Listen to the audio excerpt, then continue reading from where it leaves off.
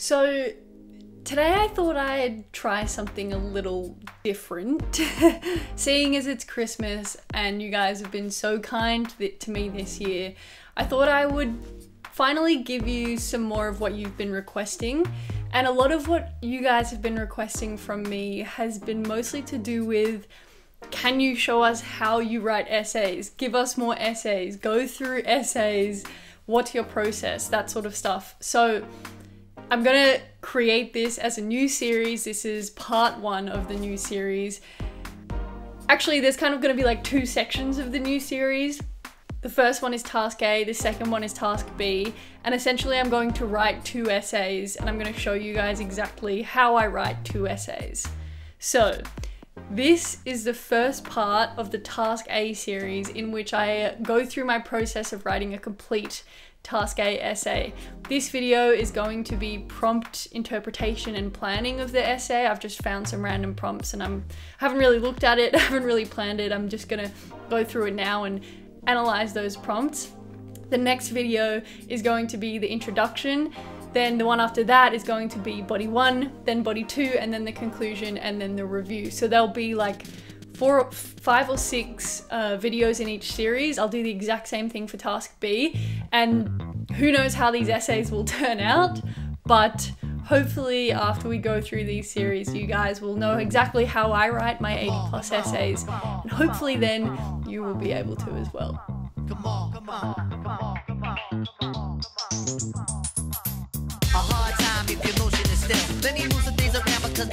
Hey everybody and welcome back to the channel. My name's Kate Robson and if you don't know me, I make videos on here. Currently I'm just making videos about GAMSAT Section 2 since I scored 80 in Section 2 in the 2021 March sitting which put me in the top 0.7% of that sitting for that section. Finally I got that right. Usually I get that wrong. So I got 80 for Section 2 which is a pretty good mark and ever since then I've kind of been helping you guys how to be able to do that as well because I just reckon everybody deserves a fair shot at doing well in the GAMSAT if you want to be a doctor so that you get a good chance at that as well. This video is going to be a little different and I suppose this whole series is going to be a little different from the ones that I've previously been doing because the style that I make my videos is usually quite planned and quite scripted so that they have this kind of nice arc to them and I like storytelling in that way but I thought I'd kind of experiment with a style where I kind of plan less but do more on the spot so that you guys can see what I do in real time. So, as I said in the introduction, today I'm going to be going over how I interpret prompts so that you guys can see exactly what I do and we're gonna go through this whole process of essay writing. I don't know how it's going to turn out. I'm a bit nervous to be honest, like one or both of the essays could turn out crap, terrible, depending on how it goes, how well I'm brainstorming. Also, given the fact that I haven't been writing essays that often anymore. Um, this is kind of good for me as well because it means I get to practice for my March sitting as well. So I'm just going to basically like bring you guys along for the ride of writing an essay. It's not going to be timed or anything. I'm just going to work through it over the next few weeks and into 20 into the start of 2022 and kind of see how it goes and see if it helps you guys in any sorts of ways. So I really appreciate your feedback as well if you guys do enjoy these videos. Chuck those comments down below. Make sure you subscribe if you are new here and like this video to let me know that you want to see the rest of the series and that I should make them. Other than that, I also will make a little quick plug here because there's only like a few days left of the pre-sale for my section 2 course where I go in detail about how to write an 80 plus essay. This stuff that I'm going to be doing in this series is kind of touching the surface of writing essays and how I write my 80 plus essays, but if you want step-by-step -step instructions, further analysis, really in detailed feedback and explanations about how to actually write your essays and what kind of needs to go into them being that sort of standard, sign up for the course, jump on the pre-sale, it's 30% off and it's going to finish on Christmas. So if you don't want to miss out, click in the link below, enroll in the course and you won't regret it. Okay, now that we've done those plugs, I feel like we should probably just get into it. I'm a bit nervous, but we'll see how it goes. I haven't analyzed prompts in a while, and to be honest, interpreting prompts and coming up with ideas to me I find the most difficult. Maybe it's when, particularly when it's in a given time, like you have to analyze prompts, come up with an idea in like five minutes in your actual sitting, or when you're doing it to timed practice. So maybe this will be a bit easier, but I still find it quite difficult to come up with ideas sometimes, um, to not question myself too much when I'm trying to come up with ideas, and to try and pick the one that I want to write the essay about. But that said, let's do it, let's jump in, and let's have a look at these prompts. So, the first prompt is and I'm not going to say what the theme is yet because I kind of want to figure out what the theme is as I go. I prefer interpreting prompts like that. The first prompt is technology is a useful servant but a dangerous master. The second is technology has forever changed the world we live in. Our phones and computers have become reflections of our personalities, our interests, and our identities. The third is the purpose of technology is not to confuse the brain but to serve the body.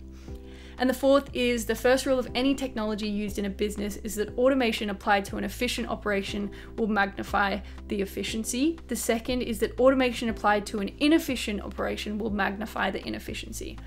Okay. And by the way, I got these prompts from, I think it was Fraser's past GAMSAT papers section of their prompt generator website.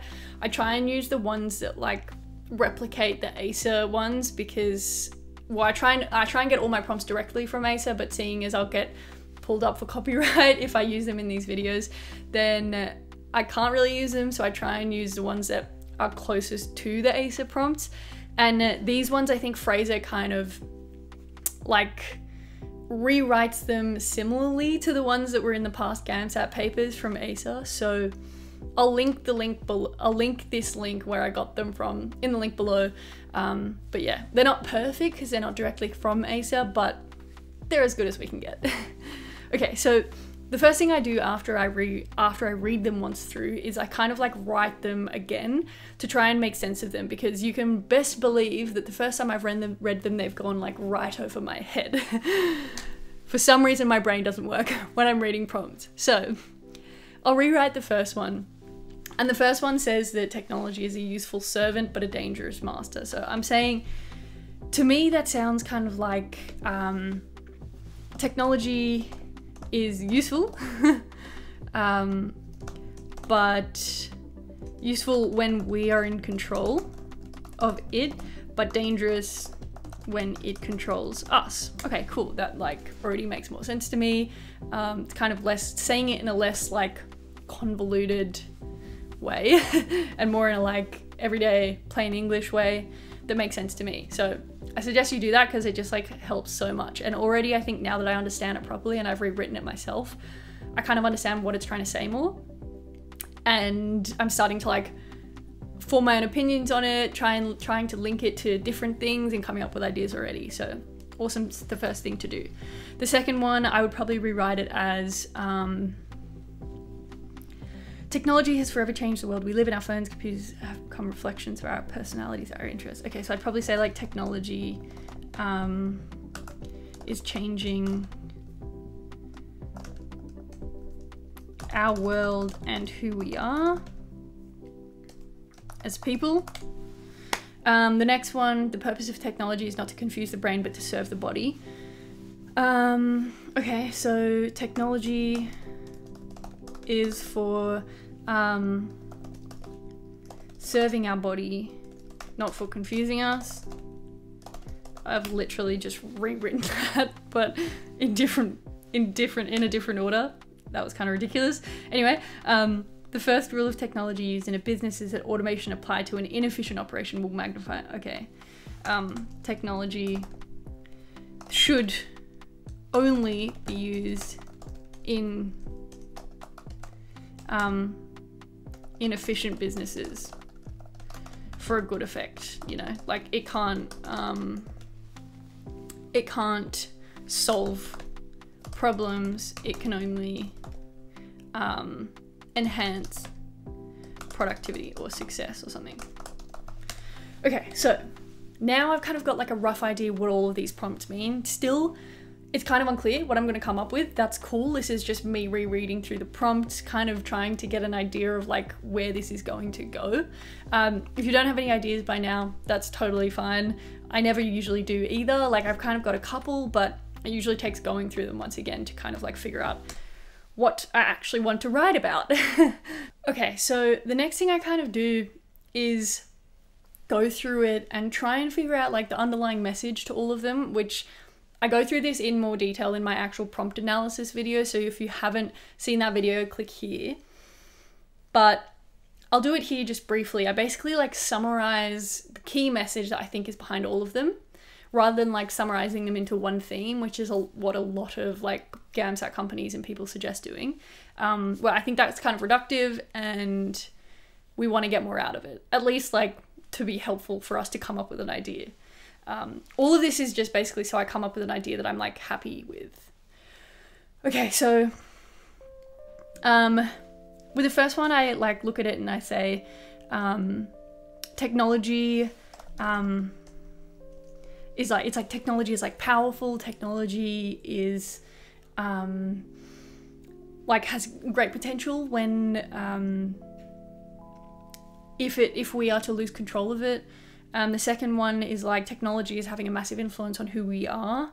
Um, so basically, they're both already saying that like technology is a big deal, like it has a massive potential for change.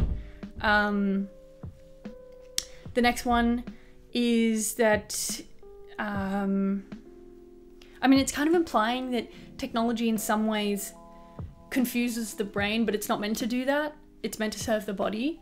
Um, which like I could disagree with because I also think that technology is for serving the mind.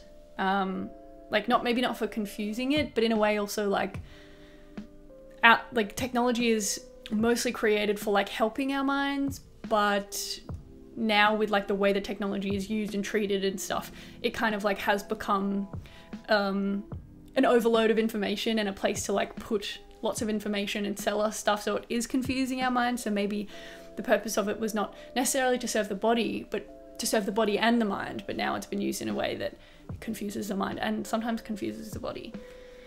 Um, then the next one is kind of saying technology needs to be used wisely, and it, it's only like a tool to enhance um, good things. It can't be used to like solve bad things that are already bad, but only but should be used to um, like enhance positive qualities about certain things. Okay, so I mean, like, they're all kind of to, to do with like the power of technology, the potential of technology. That's kind of the way that I'm interpreting them, um, and how technology should be used.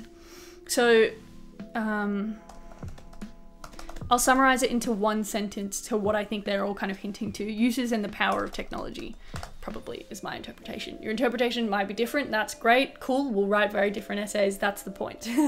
but this is what I'm getting out of them. Okay, so you're probably being like, yes, okay, Kate, but like you don't get this much time in the actual exam. But that's cool. I'm just showing you my process to break it down so that eventually you guys can learn to do it faster as well. Um, but yeah, okay, so now we've got the uses and the power of technology. And where I go from here is I say, okay, either I'm going to write an essay on like the uses and power of technology in relation to the prompt. So like I try and kind of relate my underlying message of them, knowing that I've acknowledged all of them kind of like the theme behind all of them because in the ACER, in the ACER criteria in like the handbook they say that all of them do kind of surround one theme. So we want to respond in a way to that theme and acknowledge the theme that they're trying to get at which I think is like the uses and power of technology. But I don't want to write an essay just on the uses and power of technology without like specifically kind of addressing one more prompt um, or like one of the prompts or there's lots of potential to just go um, kind of like go down the wrong path, um, sway too far in the wrong direction if you just write to the theme. So I always try and write to like maybe one prompt particularly, depending on which one inspired inspires me. So the next thing I do is write down the one that inspires me the most. And I think that the one that inspires me the most is number two, um, which my interpretation of it was that technology is changing our world and who we are as people. Um, and the actual prompt was technology has forever changed the world we live in. Our phones and computers have become reflections of our personalities, our interests, and our identities. Okay, so I've picked my prompt. I've picked my prompt. I've recognized the theme. And now we're going to develop it into a thesis. and into my essay. So this is one of the most confusing bits. Um, it's hard to decide on which idea you want to go with the most and how to break that down into an actual thesis, but the ways that I do it are by like mostly asking myself some questions. So I say, I ask myself, um, do I agree with the prompt or do I disagree? In what under what conditions do I agree with it? Under what conditions do I not agree with it? Um, what can I get out of it that would allow me to form a thesis, which is my single strongest opinion on the matter, on the topic, and so that I can turn that into an essay. So I read it again and I ask myself, do I agree or do I not? Technology has changed the, the world we live in. Forever changed the world, maybe that's a key point. Um, has it forever changed the world? Is the world always going to be changed because of technology? Or um, has it changed everybody's worlds? Who is it? Whose worlds are we talking about? Whose world are we talking about? Are we talking about the Earth? Are we talking about the universe? Are we talking about the country that I live in? My world? Where is it? Um, so the world we live in. Because um, also the way that like the reason I question these prompts is because you don't know really who's written them. Maybe they're just some random person. Um, sometimes they're famous people or politicians or philosophers or whatever people from the past. Um, but like you don't know them as well. If they're written by a human, which I assume they are, um, these prompts are just facets of what they think about the world. So you're allowed to question them and form your own opinions on them as well, which is often like where a good thesis comes out of because it's supposed to be your opinion and your idea and your argument. Okay, so I'm questioning if it's forever changed the world we live in. I think it, um, technology has certainly changed the world as we know it now, particularly in the last couple of centuries, particularly in the 21st century. Um, since the Industrial Revolution, like industrialization has just taken off and it's kind of grown at an exponential rate. Uh, it depends on what technology we're talking about as well. Like traditional technology, cars, trains, automobiles. Actually, I'm gonna I'm gonna write that down as potentially my hook. Planes, automobiles, automobiles. Um, these were just the beginning. Okay there you go. Come up with a random idea for a hook. Okay, so yes, I think in the Industrial Revolution really changed the world. Um, it changed kind of like where our our sense of community, lots of families um, had to move into cities, whereas before we kind of relied on like agricultural life and like the family unit. So it's really changed the social structure of the world. Um, it and what we how we know it now. So that's kind of like how traditional technology changed in the beginning. Um, you know, with like production of steel, production of I want to say coal. Don't know enough about that. I'm not going to write an essay on that. There we go.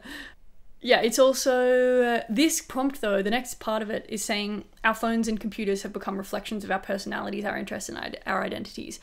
Okay, so that's kind of like our phones and our computer uh, computers is talking about modern technology. Like phones and computers weren't invented until like late last century. So, like in the 90s, whenever it was, um, like in the, sorry, in the 1900s, whenever it was, 60s maybe, 70s, computers at least, phones after. Um, actually, I actually don't even know when the phone was invented. That's so bad. Oh well, we move on. I digress. Um, okay, so it's talking about modern technology, and it's actually kind of talking about like the uh, psycho- psychology behind how that has changed us and our world. So it's hinting more at modern technology has become reflect has changed us um, has changed our personalities, our interests, and our identities. Actually, it's saying that they've become reflections of our personalities. So it's kind of saying that we've become like our phones. And our personalities and our interests have become our tech have become technology. Which is kind of interesting, actually, if you think about it. Do I think that um, do I agree with that now? Do I think that phones and computers and our technology have become reflections of our personality? I actually don't think so. I, I disagree, which is great. now we've got an idea. So, okay, so I'm going to write this down. Now I've kind of got an idea. I'm just going to write it down here and I'll say technology um, and the Industrial Revolution maybe like the dawn of technology um, and the Industrial Revolution. So that's like late 1800s. I know this just from like previous research and from the newsletter that I write. If you're not subscribed to that, also link in video description.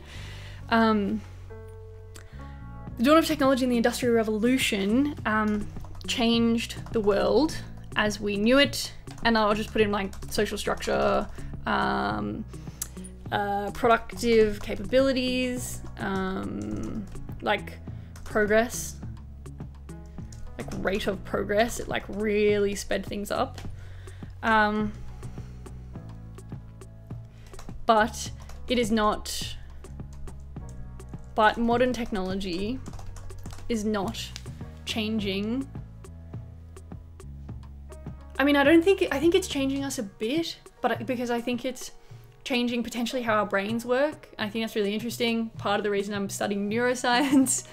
Um, and I think it has the capacity to like reconstruct our social, our, um, what's the word, our sociology, the way that we operate, and it is. Um, um, okay, so I'll say instead, and modern tech um, has changed our um, has modern. Okay, but I also think like modern technology. We also don't know how much it's changing us yet because perhaps in like 100 or 200 years, if we still exist on this planet at this rate with climate change, um, then if it still exists, if, sorry, if we still exist, then we don't know like I have no idea how much technology is going to change us and and change the world that we live in. Maybe it will completely change us, but right now it still feels like we also rely on like we have we're still animals, like we still have like such primitive tendencies um, with like fight or flight, with our with our biology, with our fight or flight reactions, with our fear, our innate fear, and our innate sense of love. Um, so I don't think it will ever truly be able to change what it means to be human, which is to love, to fear, to hate, to feel. I think it will. I think those parts of the human essence will never change unless we become robots, but then we are technology, so that's a whole different thing. okay, so I'm gonna cha- I'm gonna say modern technology has changed our social structure in many ways and has the capacity um, to change our um, our biology, depending on how far it takes us. But, um, but, um, it, but it,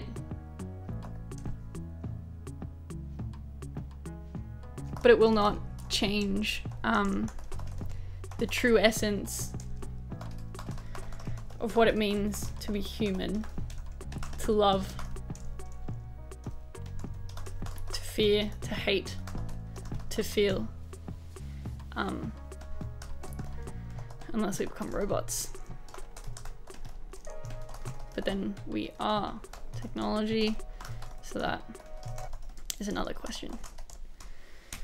Okay, so I've developed my idea, I've developed my thesis. My thesis is that yes, technology has changed has changed the world as we know it, and I can already see my first paragraph forming, which is going to be that.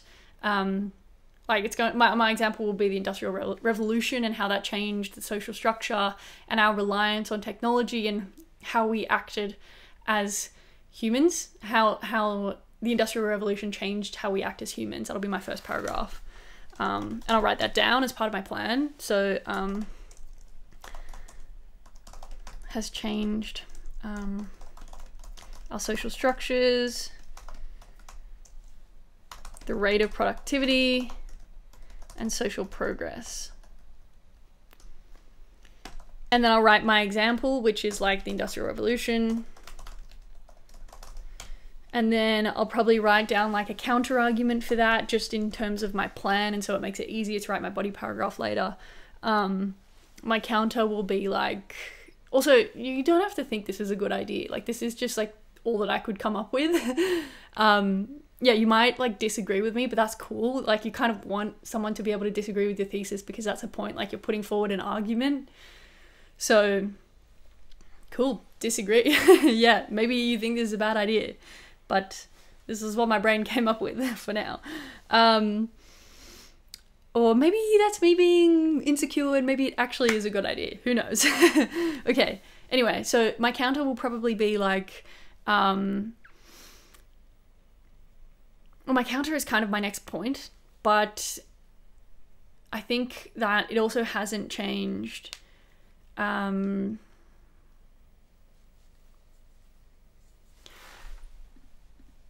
I'll also say like past and modern technology, I think, in this one.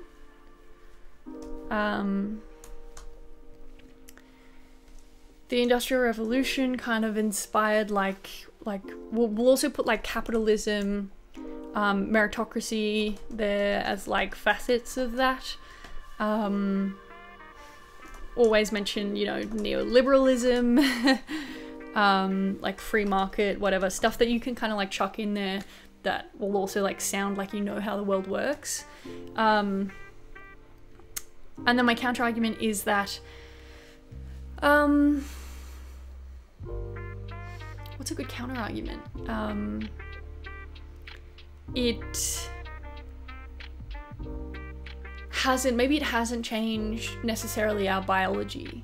Um, but that's my next point. Okay, hold on. I'm gonna write body two here. And my body, my body two, my second point, the premise that my thesis is founded upon is that um, technology cannot um,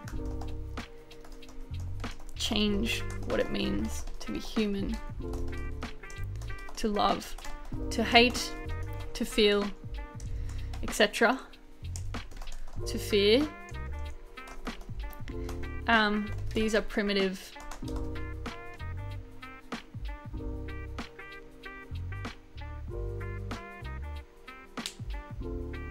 um, primitive, like raw, biological, um, that unless technology strips it away, um,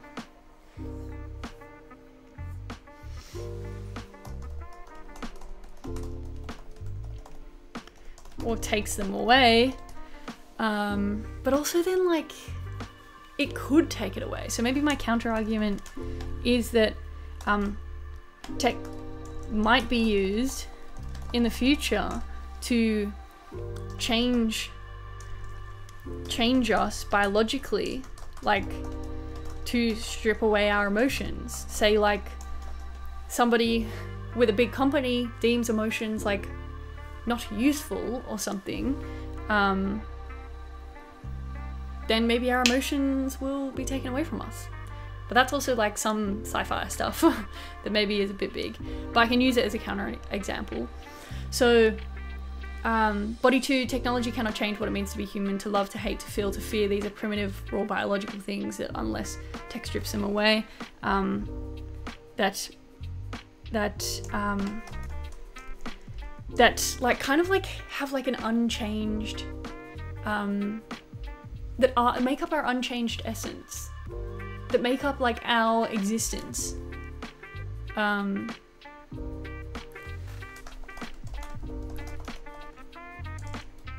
um, but then also you could argue that like evolution can change anything. So I'll just chuck that down in my counter thing, my counter argument like slowly, albeit, but they can. But it can. Um,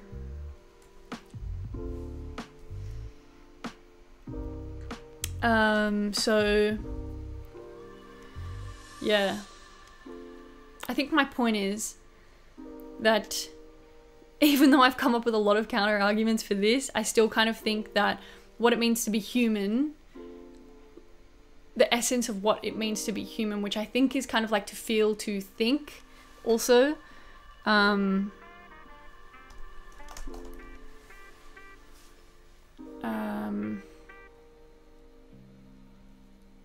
that I don't think technology can take away from us. I don't, like, I can't, it's such an abstract idea, but I cannot imagine a scenario in which technology took away our thought and took away our feelings without killing us. okay.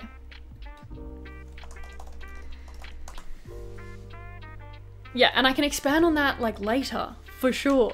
Example, um, maybe my example is going to be something like, I mean, this is tricky essay to write already. I'm kind of like seeing that. Um, my example is going to be um, how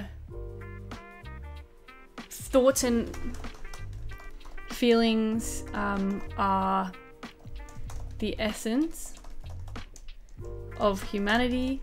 Um, um, maybe I'll also say like I could also define my scope to just be Western democratic societies to make it a bit easier in terms of how it's changed our social structure, especially because I don't know much about the way that non-Western societies operate, um, just based on like my own experience, has changed maybe like Western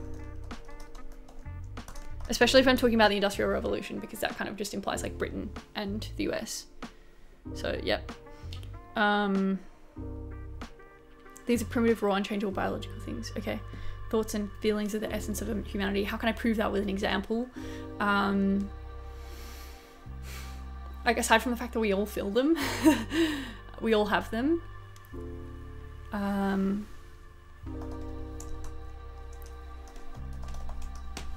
um, so long as like we have our brain oh there's that example of like the brain being a physical manifestation and your mind being or your mind being the manifestation of it. I'm going to look maybe more into that. Um, physical counterpart mind being um, manifestation of your brain like of your thoughts. So there's something about maybe I could link in a psycho psychological theory here that's probably warranted. Um, I could talk about, um, yeah, maybe like a psychological theory, which like right now I don't know, which would be bad if I was in the actual exam. But this is why we do prep work, because I can go and learn something that I might be able to use in this. So maybe in between this video and the next one, I'll go and do some research that I can take away with that. And then what that leads to is that my thesis is saying that technology has changed us.